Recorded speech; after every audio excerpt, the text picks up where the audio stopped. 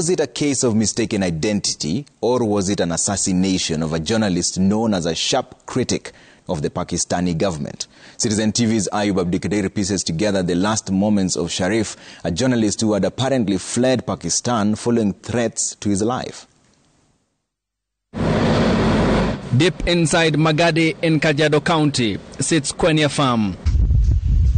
Located 40 kilometers off Magadi Road, where the late Pakistani journalist Arshad Sharif was said to frequent. The farm owned by Sharif's friend hosts a hotel and a shooting range. According to staff who work here, on the fateful day, the evening of the 23rd of October, Sharif left Kwenia Farm while in the company of his brother Khurram Ahmed. But the journey back to Nairobi was cut short. At this point, Kwenia Farm, Kamukuru murram Road within Magadi, a hail of bullets rained on their vehicle, killing the renowned Pakistani investigative journalist. At daybreak, a police statement admitted a police officer shot and killed the renowned Pakistani broadcaster in what the statement alleged was a case of mistaken identity. The 50 year old was aboard motor vehicle registration number KDG 200M at the time of the incident. The vehicle was towed to Kiserian police station in the county of Kajiado. The killing of the Pakistani national and journalist, however, opened up floodgates of questions. Did the police attempt to stop the vehicle and did the occupants defy the orders?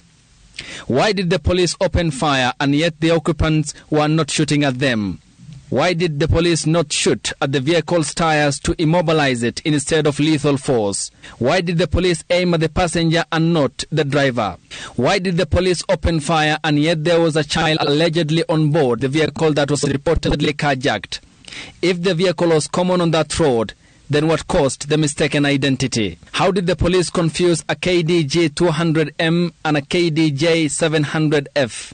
What was the color and model of the vehicle that was carjacked?